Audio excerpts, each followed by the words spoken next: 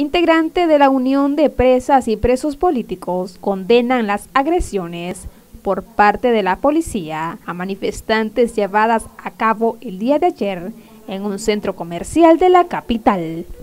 Eso se condena, ese fue un acto inhumano porque eran personas que están gritando libertad para nuestros presos políticos, democracia para Nicaragua, eh, y eran, al final de todo, la agresión al, periodista Armando Maya es criminal. Y yo creo que eso son de las cosas que uno no puede olvidar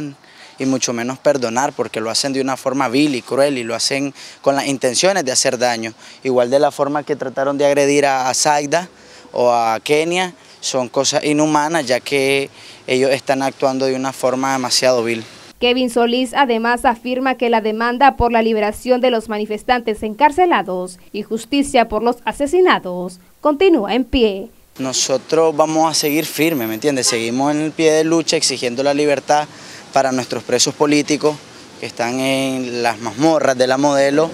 las mazmorras de diferentes penales del, estado, del país, eh, igualmente la democratización de Nicaragua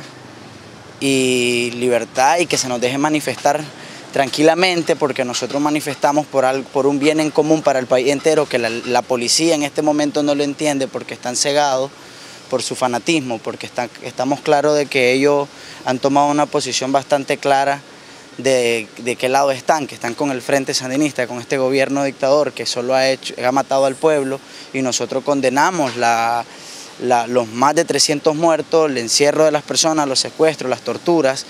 y vamos a seguir firmes hasta que logremos hacer un cambio de verdad. Noticias 12, Teresa Reyes.